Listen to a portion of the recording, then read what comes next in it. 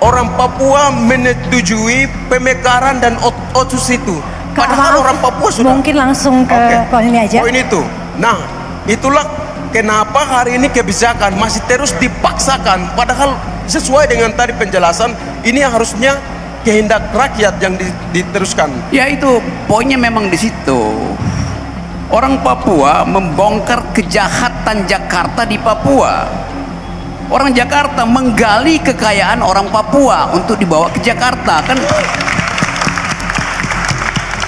Tapi saya selalu menganggap bahwa hak sejarah orang Papua bahkan untuk mendefinisikan dirinya sendiri tidak boleh diintervensi oleh orang bahkan Mahfud MD itu dia berbohong. Apa yang dia bilang? 90% itu hasil survei istana yang menganggap orang Papua mau pemekaran tuh orang Papua mau ada penghormatan terhadap identitas dia di situ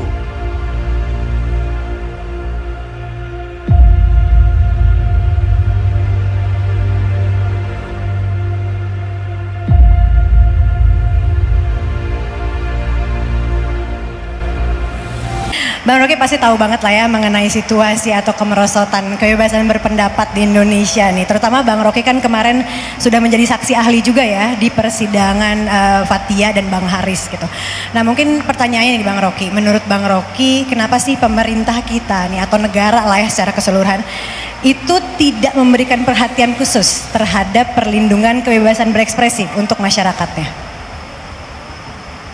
Tanyanya ke pemerintah kenapa dia nggak mau serahkan atau dia mau ambil hak rakyat untuk bicara kan? Kan itu soalnya tapi selalu pemerintah mengizinkan orang memberi kritik asal membangun itu.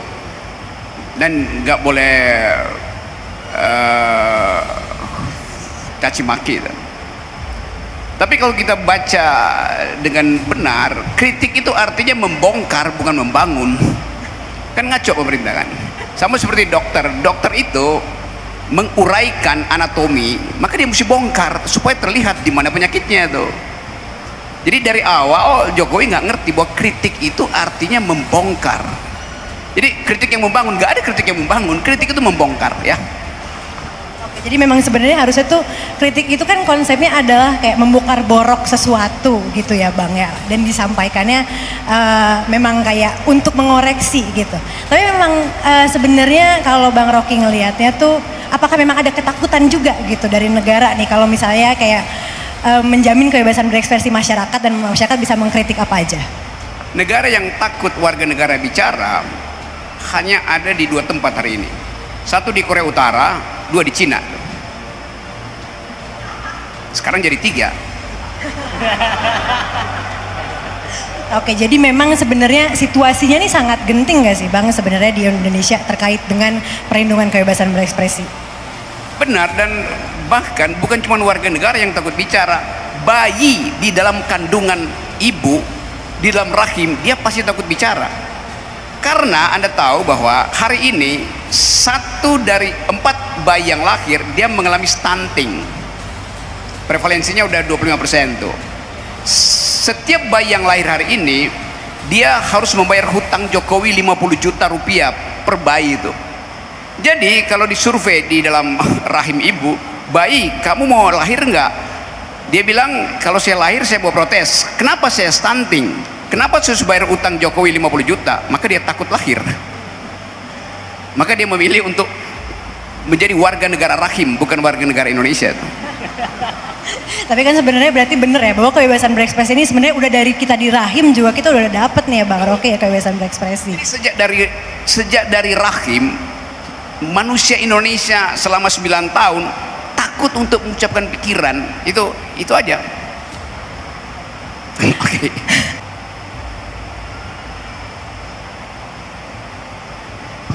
Menurut Anda apakah salah seorang capres eh cawapres hari ini ada otak apa tidak? Kayaknya kita nggak ngasih pertanyaan gitu Bang. Aku punya listnya loh. Jadi apa nih pertanyaan Bang Rocky di situ? Oh, saya baca terbalik. Rupanya itu pertanyaan buat Republik Wakanda. Waduh, jadi apa tuh pertanyaannya Bang coba? Buat pertanyaan Amnesty International, menurut Anda apakah kebebasan berekspresi ada batasnya? Gimana bang? Kebebasan berekspresi itu langkah kedua dari kebebasan berpikir. Maka yang nggak boleh ada batasnya adalah kebebasan berpikir. Karena manusia disebut makhluk yang rasional, artinya dia mengolah dan mengevaluasi apa yang dia lihat tuh. Hasil olahan dan hasil evaluasi itu itu yang diekspresikan itu. Kalau saya nggak suka pada Pak Jokowi, dua hal saya bisa lakukan sebagai presiden. Saya caci maki dia atau saya puji dia tuh. Dua-duanya adalah deskripsi. Orang yang mencaci maki, dia mendeskripsikan kedunguan dari kepala negara. Orang yang memuji, dia mendeskripsikan kemuliaan dari kepala negara. Jadi ekspresi itu adalah sifatnya mendeskripsikan. Yang jadi masalah, kenapa kalau dipuji dia senang, kenapa kalau dicaci dia marah tuh? Kan mesti biasa aja kan? Kan itu deskripsi aja. Kecuali yang dihujat itu adalah human dignity-nya tuh. Kan kepala negara bukan manusia, dia fungsi, dia lembaga tuh. Jadi dia nggak boleh tersinggung. Juga demikian masyarakat harusnya punya kemampuan untuk mengucapkan semaksimal mungkin. Pertanyaan tadi, apakah ada batasnya? Ada. Batas dari kebebasan berekspresi adalah telunjukmu tidak boleh menyentuh hidung orang yang kau lagi kritik. Itu aja batasnya. Begitu Anda sentuh, Anda menghina integritas tubuhnya tuh. Maka Anda kena pidana tuh. Selama Anda membelala, maki-maki apa pun, nggak ada soal. Karena itu ekspresi itu.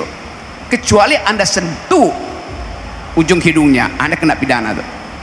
Jadi batasannya di human dignity itu tadi. Iya, ya, itu batasnya human dignity, menyentuh tubuh manusia dengan ekspresi yang sifatnya eh, menekan.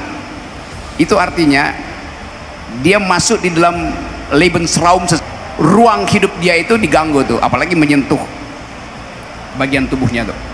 Dan poin menarik dari Bang Rocky tadi sebenarnya kalau ngiritik pejabat publik, apalagi kalau itu adalah sebuah posisi gitu ya, harusnya mereka nggak tersinggung dong, karena itu kan posisi Mestinya nggak tersinggung karena masalahnya kan saya mengkritik kepala negara tuh kayak tadi ini di, di- apa namanya nih eh, apa namanya fishball bahasa Indonesia apa fishball tuh? Fishball ini fishball ini bahasa Indonesia apa tuh? Eh, Akuarium. ya akuarium tuh. Terjemahan letter luck-nya tuh eh, mangkok ikan itu tadi saya cari-cari mana ikannya nggak- ada tuh padahal saya ingin ketemu kepala ikan di situ karena kepala ikan lebih berguna dari kepala negara Oke. Oke pertanyaannya apakah peneng- penegakan HAM hanya untuk yang viral dan punya relasi? Saya punya alasan ya.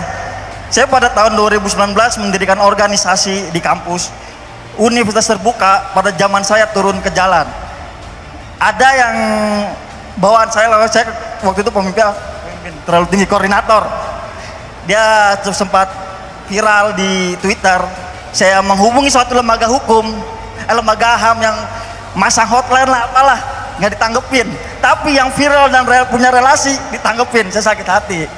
Saya akhirnya saya ngurusin sendiri. Apakah saya kapok untuk menegakkan HAM? Enggak.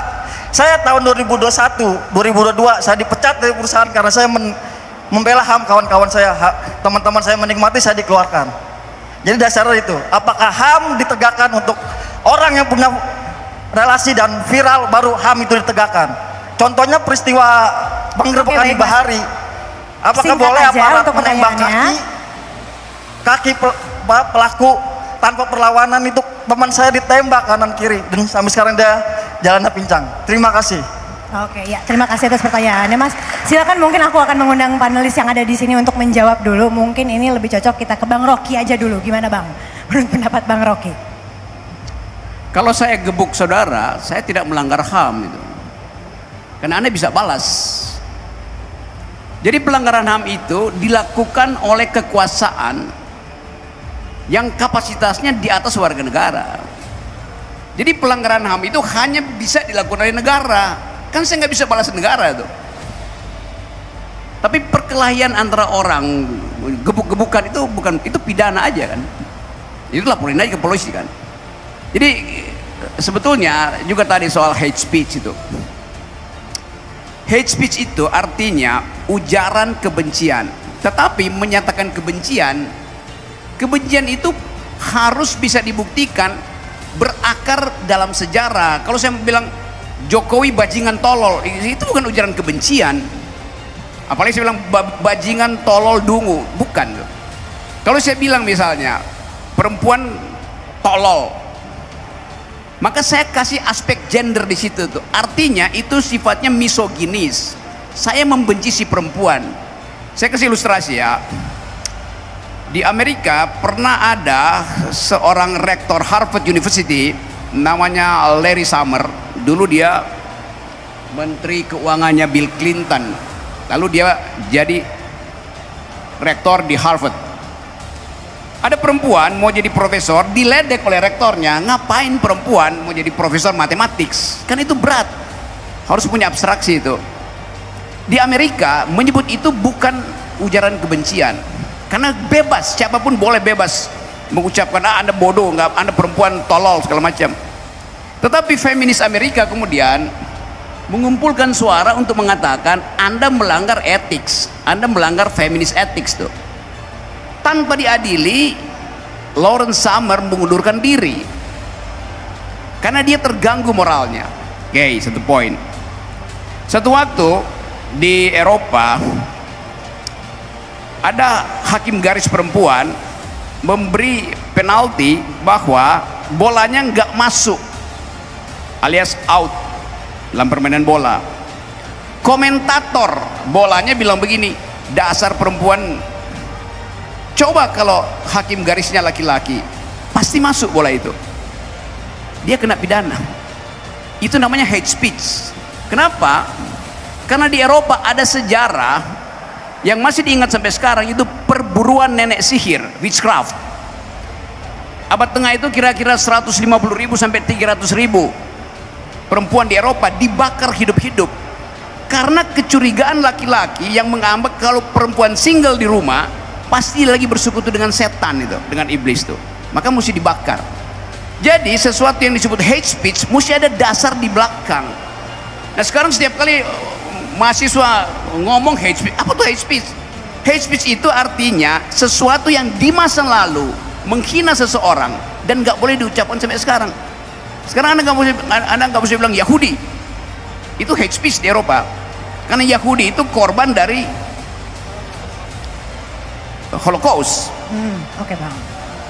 Demikian juga anda sebut negro sekarang itu dianggap sebagai hate speech anda mesti bilang berkulit hitam gitu kan. Hmm. Nah di kita di sini semua sekelas hate speech. Akibatnya pengadilan penuh, undang-undang ITE terus hate speech, hate speech. Jadi bahkan istilah hate speech diterjemahkan secara dungu.